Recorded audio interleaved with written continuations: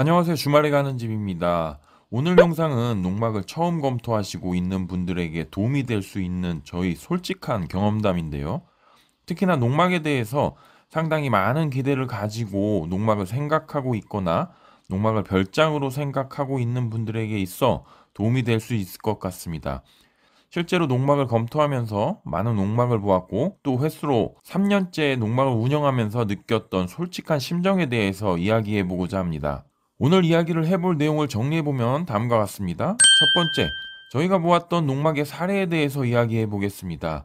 특히나 영상으로도 보내드린 적이 있는데 농막을 정말로 럭셔리하게 꾸며 놓으신 사례를 한번 둘러보고요. 어떤 점이 잘못되었는지도 이야기해 보겠습니다. 두 번째, 저희가 농막을 어떻게 운영하는지에 대해서 이야기해 보겠습니다. 코로나 때 야외 활동이 상당히 힘들었던 시절 저희는 농막을 검토했고 바로 실행에 옮겼는데요. 농막을 운영하면서 느낀 점을 공유 드리도록 하겠습니다. 세 번째, 농막과 전원주택. 이 부분에 대해서 검토했던 부분을 말씀드릴 텐데요. 잠깐 먼저 이야기하자면 농막 생활을 하면서 어려운 점이 정말 많습니다. 이 때문에 시골 생활을 본격적으로 할 것인가에 대해서 진지하게 고민했고 농막을 주택 또는 근린 생활 시설로 바꿀까 지금도 고민을 많이 하고 있는데요. 이 부분에 대해서 이야기해 보도록 하겠습니다. 자, 그럼 본격적인 이야기를 해보도록 할 텐데요. 처음 여러분은 얼마나 많은 농막 업체를 가보셨나요? 저희는 농막을 초기 검토할 때 농막 업체만 본 것이 아니라 농막이 설치된 곳도 수소문 끝에 많이 찾아보았는데요. 하나씩 볼까요? 이 농막은 경상남도 함양에 위치한 농막입니다. 농막도 너무나 예쁘고 그 주변 경광도 멋져서 드론 영상까지 이렇게 찍어 보았는데요.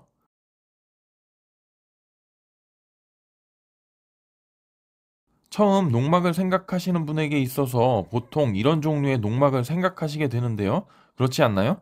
물론 저희도 그랬습니다. 조금 더 보도록 하겠습니다.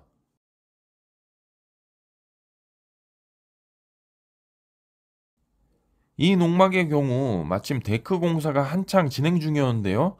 처음에 와 하면서 저희도 이렇게 꾸며야겠다라고 하면서 대박이다라는 혼잣말이 절로 나왔습니다. 그래서 영상으로 이렇게 기록해 놓기도 했고요. 토지와 농막에 대해서도 많은 분석을 해 보았는데요. 토지부터 말씀드리자면 용도 지역은 농림 지역이었고 지목은 전이었습니다. 요즘 어플이 잘 만들어져서 주소만 입력하면 바로 그 토지의 지목과 용도 지역뿐만 아니라 거래 시세를 연도별로도 바로 확인할 수 있습니다. 한번 볼까요? 밸류맵에서 알아보면 2017년도에 700에 거래되었네요. 오, 토지가 정말 저렴한데요? 물론 5, 6년 전 이야기이긴 하지만 그래도 싸다고 생각됩니다. 농막에 대해서도 알아보았는데요. 이 농막은 탑하우징 제품이었고 가격은 3,950만 원이었습니다. 이 농막의 경우는 데코도 넓게 깔고 있었고 정화조, 지하수 시설이 모두 갖춰져 있었습니다. 더구나 조경 역시 전원주택 버금가도록 토지 조성을 해 놓았고 조경석과 여러 가지 시설들을 잘 해 놓으셨습니다. 정말 멋있었는데요. 그럼 하나의 농막과 근린 생활 시설 하나를 더 보고 저희가 느꼈던 농막에 대해서 좀 더 솔직하게 말씀드리도록 하겠습니다. 두 번째 농막도 한번 구경해 볼까요? 강원도 횡성에 있던 농막인데요. 농막 자체가 예쁘기보다는 비닐하우스와 연동되어 잘 만들어 놓은 것 같아서 이 농막도 이렇게 드론 영상까지 찍어 보았습니다.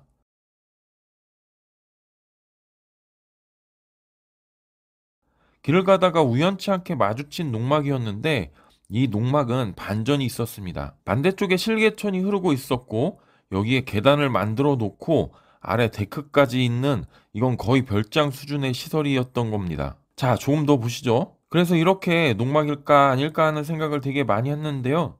지금은 이게 농막인 것을 확실히 알 수 있습니다. 바닥 기초를 보면 우선 쉽게 알 수 있고요. 지금 영상에서 보시는 것처럼 이렇게 바닥으로부터 띄워져 있는 기초를 갖고 있습니다. 주택으로 건축 신고 시에는 기초가 분명히 튼튼히 되어 있어야 되지만 가설 건축물 신고의 경우에는 이렇게 띄워져 있는 임시적인 기초만 할 수밖에 없기 때문에 지금 이 시설은 농막인 것을 확실히 알 수 있다는 것입니다. 여기도 마찬가지로 토지에 대해서 분석을 해보겠습니다. 여긴 계획관리 지역이었고요. 마찬가지로 전입니다. 이 토지는 2019년도에 1.6억으로 거래가 되었네요. 면적 차이는 있지만 이곳은 경기도와 인접해 있는 멀지 않은 지역이기 때문에 아무래도 토지가 많이 비싸긴 합니다. 이처럼 지목이 대지가 아닌 이상 이 두 개의 건축물은 가설 건축물인 농막이라고 볼 수 있습니다. 그럼 근린생활 시설은 어떻게 만들어졌는지 궁금하시죠? 강원도 춘천에 만들어진 근린생활 시설인데요. 참고로 근린생활 시설은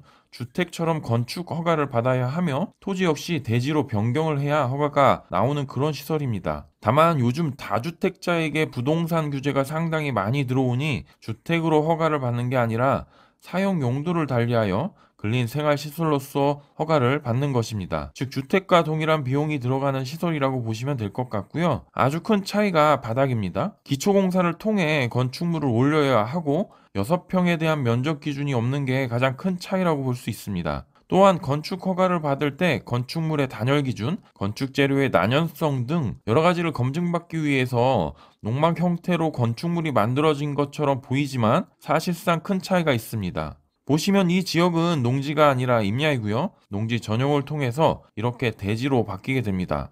저희 영상을 보셨으면 아시겠지만 임야에는 농막을 설치할 수 없습니다. 산림 경영관리사의 형태로 가능은 하나 이 또한 이렇게 작은 면적에는 사실상 불가능하다고 볼 수 있습니다. 제가 왜 저희가 보았던 농막과 근린 생활 시설을 앞서 말씀드렸을까요? 바로 첫 번째, 두 번째 농막의 경우 여러 가지 위반 사항이 있다는 것을 뒤늦게 알게 되었습니다. 멋진 전원주택에 버금가는 시설을 해 놓으셨는데 처음에는 정말 부러웠습니다. 당연히 이렇게 농막도 시설 투자가 가능하다면 저희도 보다 좋은 시설, 별장처럼 꾸몄을 것 같습니다. 그런데 농막에 대해서 하나하나 알아보니까 이러한 부분이 분명 불법적인 요소가 크고 자칫 저희가 투자한 비용에 대해서 오히려 손실이 발생할 수 있다는 것을 알게 된 것입니다. 조금 더 쉽게 설명드리자면 농막의 경우 농지이므로 절대 별장처럼 운영할 수 없고 지자체 단속에 적발 시 분명 원상복구 명령이 주어질 것이고 데크 및 조경석 등 이 모든 것들을 철거하고 농지로서 원상복구를 해야 한다는 것을 알게 되었습니다. 예전에는 그냥 그냥 동네 사람들이라고 해서 넘어가고 했는데 요즘 세상은 그래도 많이 투명해져서 적발이 된다면 버티기 힘든 상황이 오고 맙니다. 이전 영상에서 불법 농막 단속 및 처리 절차에 대한 영상을 보내드렸는데 궁금하신 분들은 어떻게 처리가 되는지도 한번 확인하시면 좋을 것 같습니다. 따라서 여기에서 내린 결론은 농막은 그냥 농막일 뿐 너무 과하게, 너무 멋있게, 너무 안락한 농막 생활을 꿈꾸면 안 된다는 게 저희가 느낀 부분이었습니다. 그럴 거면 마지막 예시로 보여드린 근린 생활 시설을 검토하는 게 좋다는 게 저희 생각이었습니다. 사실 세컨하우스 개념으로 시골 농가주택을 알아보시는 분들도 많습니다. 오히려 이게 더 맞는 선택이라고 저희가 판단한 것이죠. 그럼 이제 다음 주제로 넘어가서 저희가 농막을 어떻게 운영하는지도 말씀드리도록 하겠습니다. 앞서 말씀드린 대로 저희도 처음에는 과감한 투자를 통해서 멋진 농막을 만들어 보고자 했는데 두 가지 이유로 인해 최소한의 투자를 결정했습니다.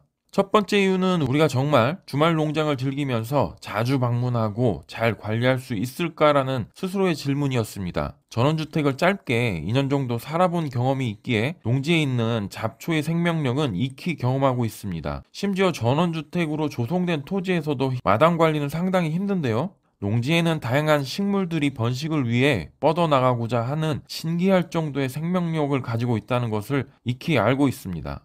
그래서 초기에 최소한의 투자를 통해서 우리가 정말 즐길 수 있는지 적성에 맞는지 등을 알아보고자 했습니다. 이러한 생활이 정말로 마음에 들면 새로이 토지를 구하던가 아니면 이전 것들을 매각하고 다시 과감하게 비용을 지불해보고자 결정했던 것입니다. 두 번째 이유는 투자를 할 거면 아싸리 불법적인 요소를 벗어날 수 있는 근린생활 시설로서 건축 허가를 받고 진행해보고자 했습니다. 매번 갈 때마다 조심스럽고 주변의 눈치를 볼 거면 아예 처음부터 농막이 아닌 근린생활 시설로서 마음 편히 지낼 수 있는 공간을 만들어 보자 이렇게 생각했었습니다. 그래서 앞서 보여드렸던 근린생활 시설에 대해서도 많이 검토를 하게 되었던 겁니다. 하지만 왜 투자를 안 했는지에 대해서도 말씀드리면 첫 번째 이유로 말씀드린 우리의 적성 문제, 투자를 해놓고 애물단지가 되지 않을까 하는 생각도 있었지만 재산의 가치 상승적인 부분도 고민을 많이 했습니다. 저희가 전원주택을 살아보았다고 말씀드렸습니다. 전원주택의 가치는 보통 처음에는 시설이 좋고 비싸게 느껴지지만 이게 세월이 흐르면 흐를수록 집에 대한 값어치가 조금씩 빠지는 것을 알 수 있었습니다. 쉽게 얘기하면 자동차랑 비슷하다고 해야 할까요? 물론 그렇지 않은 경우도 분명히 많이 있습니다. 토지 가치의 상승이 동반되는 지역은 주택이지만 그 가치가 천정부지로 상승하는 경우도 분명히 있습니다. 하지만 우리가 생각하는 농막의 위치, 환경을 고려했을 때 이러한 투자가 바람직한가라고 생각을 했었습니다. 그래서 최종적으로 결정한 것은 소소한 농막 생활을 할 수 있는 가, 성, 미 농막을 만들어 보자 이었던 겁니다. 정말로 많이 많이 고민하고 결정한 겁니다. 자, 말이 길어지고 있는데요. 마지막 주제로 넘어가도록 하겠습니다. 저희가 농막이 아닌 주택 또는 근린 생활 시설로서 고민을 했던 내용에 대해서 말씀드릴 텐데요. 초기에도 이러한 불법적인 요소가 거슬려서 근생에 대해서 많이 생각을 해 보았는데요. 지금도 마찬가지입니다. 이번에 정말로 여러 가지를 검토해 보았는데요. 토목 설계 및 허가 비용, 건축 설계 및 허가 비용, 일반 농막과는 다른 건축 허가 시 비용 상승분 등 이런 것들을 진지하게 다시금 고민해 보았습니다. 최근 방문한 업체는 세 군데인데 첫 번째가 경기도 여주에 있는 김창준 이동식 주택, 이 근처인 이천에 있는 휴먼 C&D, 충북 음성에 있는 한국 혁신 이동식 주택 이렇게 세 군데 업체를 방문했는데요. 김창준 이동식 주택에는 정말로 다양한 농막 시설, 이동식 주택 시설들이 전시되어 있어서 상당히 많이 도움이 되었고요. 휴먼 C&D 같은 경우에도 농막과 근생 시설로서 적합한 아주 예쁜 시설들을 잘 구경할 수 있었습니다. 충북 음성에 있는 한국 혁신 이동주택의 경우에는 정말로 시스템적으로 이동식 주택과 농막에 대한 제조 방식이 잘 갖춰졌다고 생각되는 공장에서 여러 가지 제품들을 볼 수 있었는데요. 여기서 제가 확실히 깨달은 것은 농막과 주택, 근생도 마찬가지입니다. 이 둘은 서로 다른 건축물이다 라고 생각을 했는데요. 그 이유는 가설 건축물인 농막과 주택에 대한 비용 차이가 있는 것은 아니었고요. 물론 비용 상승이 일부분 있긴 합니다. 하지만 이 비용 상승분은 그닥 크지 않았습니다. 가장 크게 비용이 발생했던 부분은 허가 비용과 기초 비용인데요. 허가 비용은 건축 토목 포함해서 한 700만 원 정도, 기초공사 및 관로공사가 1,800만 원으로 상당히 많이 지불되는 부분이었고요. 건축물 자재 변경도 약 500만 원의 비용 상승이 있다고 말씀해 주셨습니다. 여기에 토지 조성 및 펜스 또 조경이 만만치 않은 비용인데요. 저희는 보강토 공사가 필요한 토지이긴 합니다.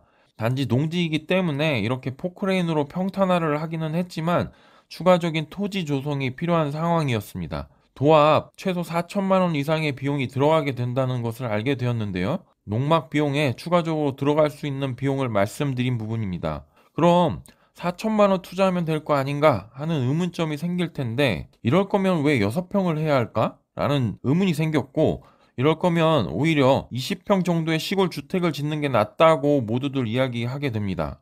워워 역시 집을 짓는다는 것은 고민의 연속이며 여러 가지 경우 수가 너무 많고 의사결정이 그때그때마다 이루어져야 하기 때문에 정말로 어려움이 많습니다. 즉 20평을 지을 경우 목조로 짓는다면 1억 원 이상이 소요되는데 아예 이렇게 주택이나 근린생활 시설로서 짓는다면 아예 이렇게 하는 것이 훨씬 낫다는 판단이 들었습니다.